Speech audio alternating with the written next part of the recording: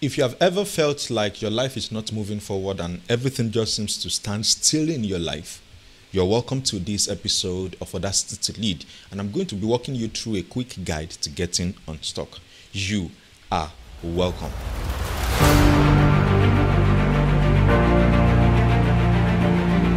So, what I want to do in this episode is to actually walk you through a simple, simple metaphor that can help you to understand what it means to actually get stuck. So, here is a simple mm, diagram, a simple image here.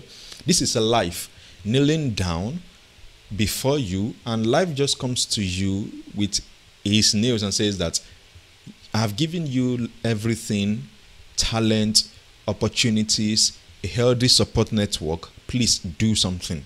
And then this is you sitting down and you are crossing your leg and you say, mm, nah.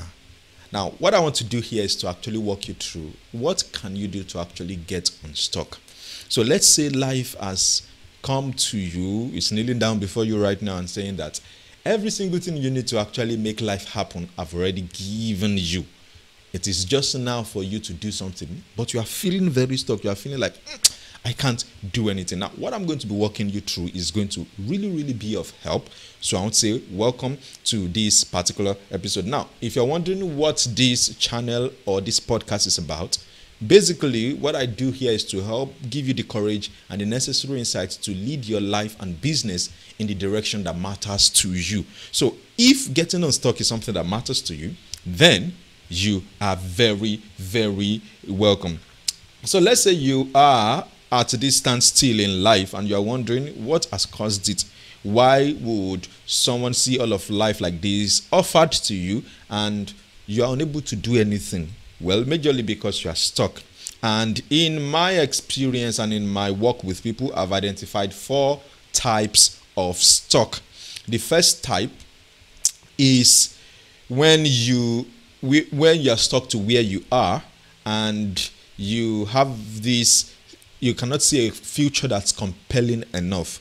This creates a sense of hopelessness. You don't exactly it's not exactly the lack of vision but sometimes it is caused by not having enough long-term thinking.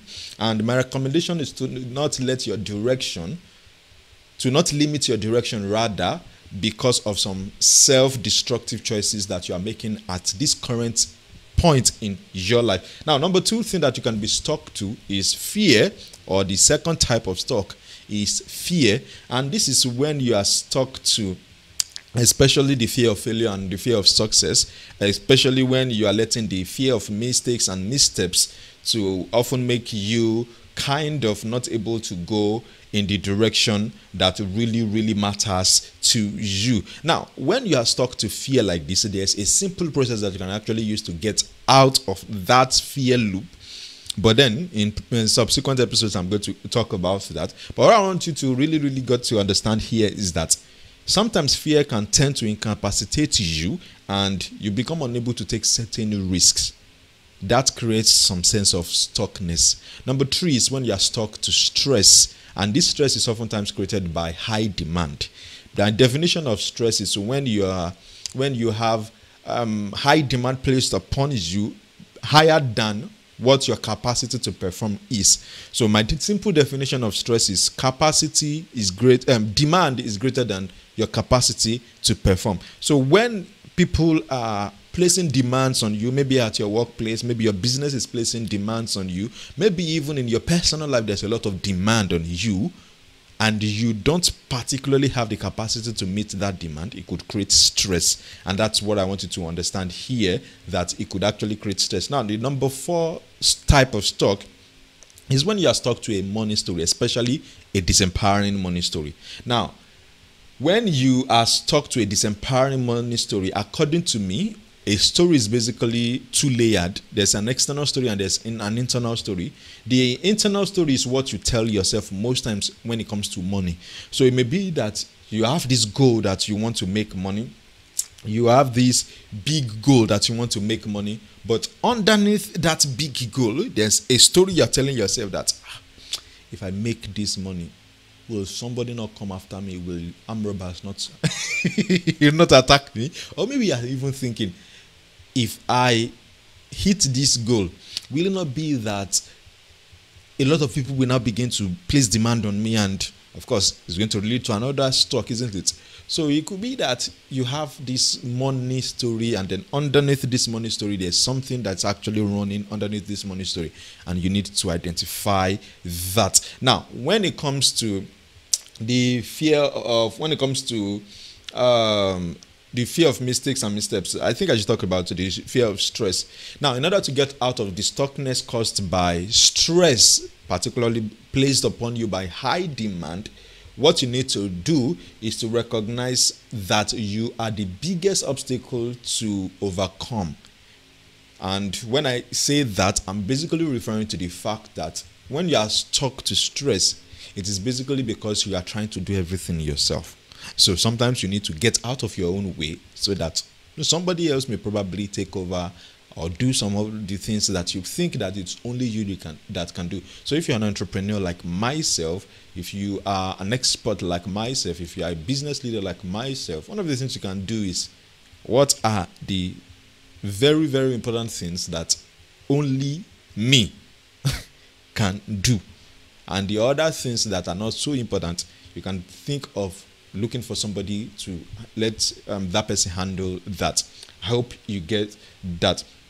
Now, understanding that you can be stuck to any of these four, you can be stuck to where you are and not being able to move forward. You can be stuck to fear and um, not willing to accommodate mistakes and missteps, or you could be stuck to stress caused by high demand, or you could be stuck to some disappointing money story. Now, according to Marianne Williamson, she said that no one will listen to us until we listen to ourselves. Now, the reason why this is particularly important is because a lot of times you, because you are a leader, you want to talk to people, but somehow there's a dissonance going on inside of you. And because you are not paying attention, you know you are stuck, but you are just trying to push forward. You are trying to move forward. You are trying to do what they call strong face, and you are trying to figure everything out. No one is going to listen to you unless you actually pause and listen to yourself. Now, in order to share one thing you can actually do with you, particularly, especially if you are feeling like a fraud. Now, when I say you are feeling like a fraud, what I mean when I refer to being um, feeling like a fraud is basically you are feeling fearful, you are feeling resentful, you are feeling angry, you are feeling unfulfilled, and you are feeling disappointed. Now, whenever you feel like this, of course, it's often created by the fact that you are stuck. So when you are stuck like that, you begin to feel like a fraud. You begin to feel like what you are doing now is not what you're supposed to be doing, or you begin to feel like ah, will somebody else want to? Do you understand what I'm trying to explain here? So you begin to have this internal conflict going on, and anytime this happens, what you need the most is basically to take back your power so think about it right now. Who have you given power over your life? I know a lot of people will say that um, I have mentors, I have coaches, I have this, I have that. But have they taken over the power over your life? Don't you think it's time for you to actually take back that power? Just as with the metaphor that I used to start. Life is kneeling down before you right now and telling you that I have given you opportunities, everything talent, opportunities, a healthy support network. Please do something. And you are sitting down and saying, nah. This is me here telling you that if you are stuck like that, you need to take back your power. If you are the one sitting down like that and you feel like you are stuck, you can't do anything, you need to understand that there's an inherent power that is already present in you that needs to be tapped into. Look deep within yourself and tap into that power. You realize that if you consistently tap into that power, you will make this year 2019 one of the best years of your life. What will come to you as a result will not come because somebody else helps you to channel that power. It will come basically because you look within you and tap into that power resident within you. My name again is Dayo Samuel. and I'm excited that you have joined me so far. I look forward to walking you through more interesting things in the subsequent episodes. As at this point, I want to say thank you for joining me. If you have not subscribed yet, please subscribe to the channel, subscribe to the podcast, and I intend to serve you every week with life transforming, business transforming content, information, ideas, tactics, and strategies, the courage and the necessary insight you need to actually lead your life and business in the direction that matters to you. So, this is Dayo Samuel here telling you to live without limits. I'm going to see you next episode.